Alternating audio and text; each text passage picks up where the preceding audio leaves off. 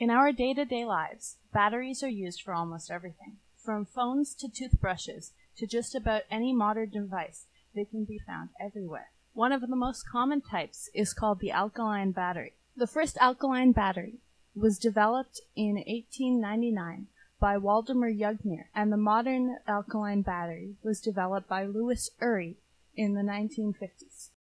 So, how does a battery work? We wanted to find out.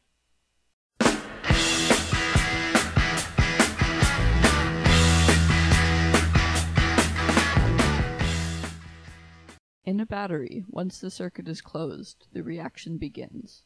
Inside the anode, zinc and hydroxide ions form zinc oxide, which stays in the anode, and water molecules. The two electrons power whatever the battery was connected to, and the reaction in the cathode begins.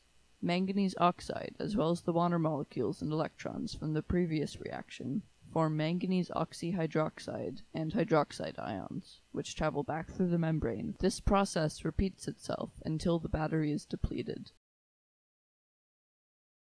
Those two equations can be expressed as one. We decided to dig a little bit into the battery that we cut in half to figure out how it was constructed. The dark material on the outside is called the cathode. The bluish material on the inside is the anode, and uh, the copper rod in the center is the anode collector. The anode collector collects the electrons from the negative side of the battery and allows them to pass through whatever device the battery is powering. Thanks for watching.